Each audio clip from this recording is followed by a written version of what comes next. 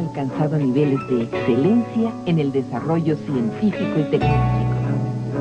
Entre las habilidades en las que la humanidad ha alcanzado el cenit, se pueden mencionar a las matemáticas, que son la expresión más patente de la capacidad del género humano.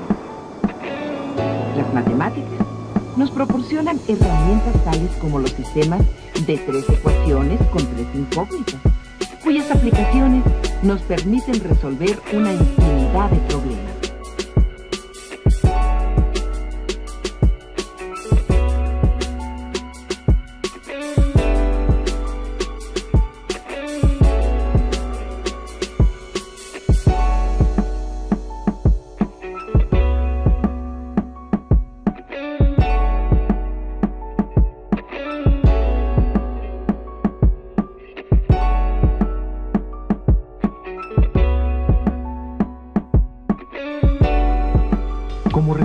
En el programa anterior, la ingeniera Rosa María Pérez contrató a tres trabajadores de la construcción para levantar una barda de tres lados.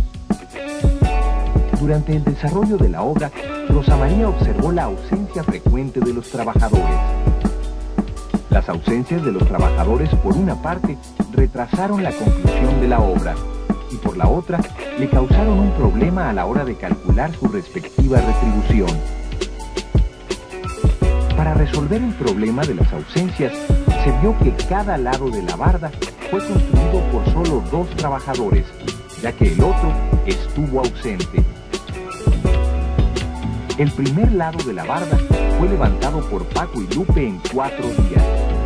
Podemos decir que Lupe colaboró con una parte del trabajo total de un lado.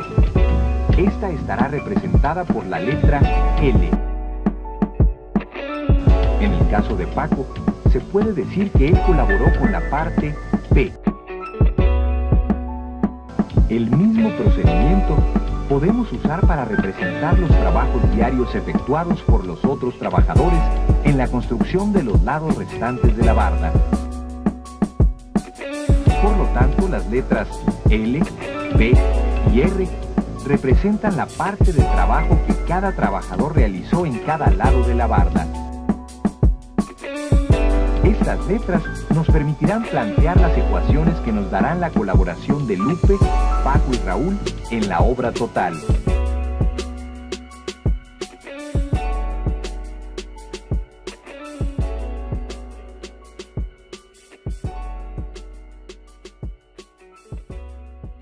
Para determinar la colaboración de cada trabajador en la construcción de la barda, primero veremos cómo Lupe y Paco construyeron el primer lado. El primer lado fue levantado en cuatro días por Lupe y Paco. Si sumamos el trabajo efectuado por Lupe y Paco durante los primeros cuatro días, tendremos el total realizado, es decir, el primer tramo de la barba. El segundo lado de la obra lo construyeron Paco y Raúl. Este fue levantado en tres días. Siguiendo el procedimiento anterior, obtenemos otra ecuación similar. La construcción de la tercera parte de la barda fue hecha por Lupe y Raúl. A estos les tomó 2.4 partes de día. Tomemos en consideración que del tercer día solo trabajaron 0.4 partes de un día. Esto equivale a dos quintos de día. Al convertir los dos días en fracción y sumarlos a los dos quintos trabajados el tercer día, obtenemos el tiempo total en fracciones usado para levantar el tercer lado de la barra. Por lo tanto, la tercera ecuación, que representa el trabajo de Lupe y Raúl efectuado en el tercer lado de la barda, será 12 quintos de L más 12 quintos de R igual a 1, con lo que obtenemos tres ecuaciones con tres incógnitas. Solo nos resta resolver el sistema.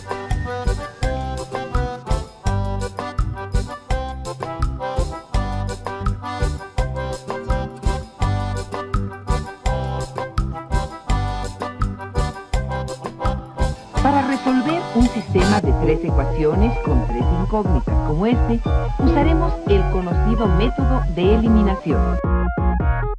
En este caso, eliminaremos las zetas de la ecuación 1 y 2. Para esto, multiplicaremos por 2 la ecuación 2 y por 3 la ecuación 1, que son los coeficientes de z.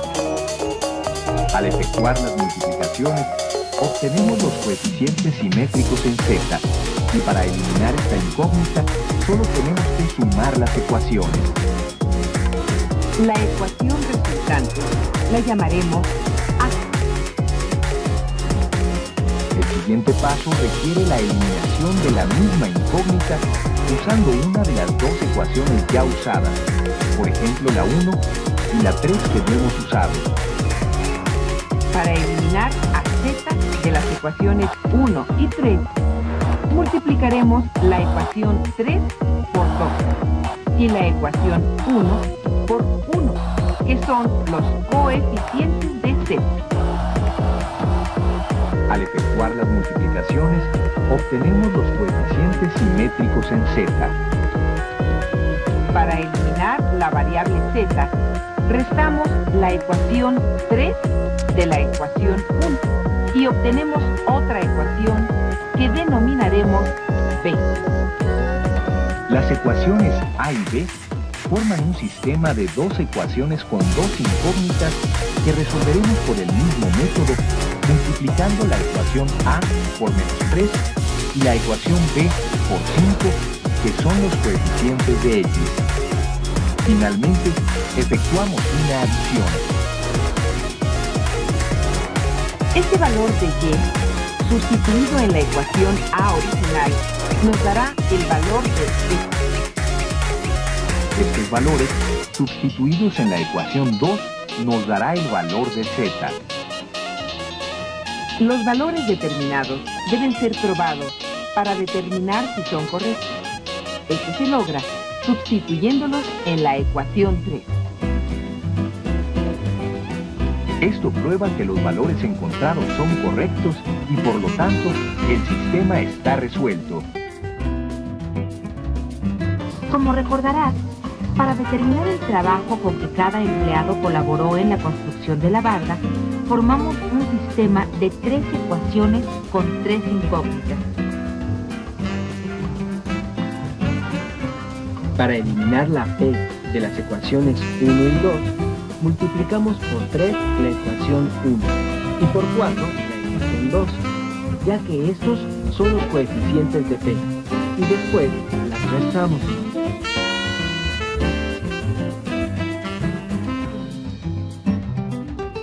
El siguiente paso consiste en eliminar la misma incógnita entre la ecuación A y la ecuación 3. Para eliminar la R de este sistema de ecuaciones, multiplicaremos por 5 la ecuación 3 y sumamos ambas ecuaciones para obtener el valor de L.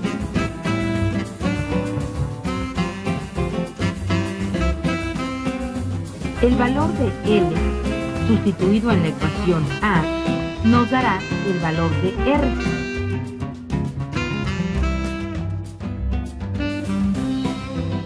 Ahora solo tenemos que despejar a R.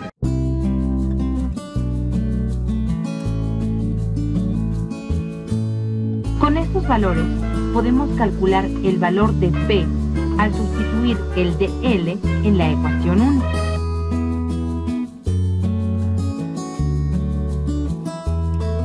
Ya solo tenemos que despejar a P de la ecuación 1.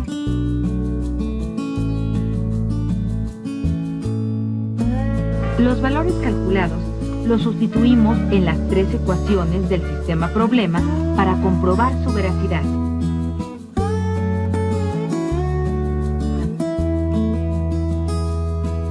Si las igualdades se cumplen, entonces los valores son correctos. Como se ve, los valores son correctos, resolviendo con esto el problema. Ya podemos saber cuánto hay que pagarle a cada trabajador. Lupe, aquí tienes tu paga que son dos tercios del trabajo hecho de un lado de la barra, más dos quintos del otro. Paco, a ti te tocan un tercio del trabajo efectuado de un lado de la barda, más un cuarto del otro. Y a ti, Raúl, te tocan tres cuartos de un lado, más dos quintos del otro.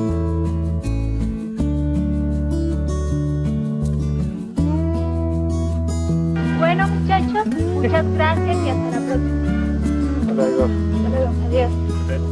Las aplicaciones de los sistemas de tres ecuaciones con tres incógnitas también se encuentran en las ciencias químico-biológicas, por ejemplo, en la preparación de soluciones y compuestos.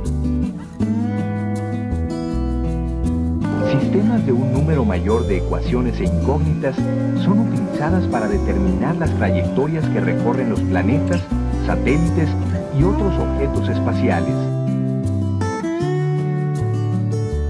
Esto pone en evidencia la utilidad de los sistemas de tres ecuaciones con tres incógnitas y el por qué es importante saber resolverlos.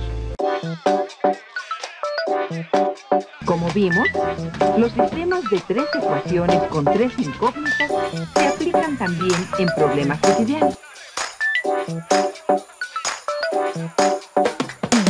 Solución requiere de un procedimiento laborioso, pero si se sigue cuidadosamente, se puede llegar al resultado deseado. Solo hay que distinguir las incógnitas del problema y determinar sus relaciones.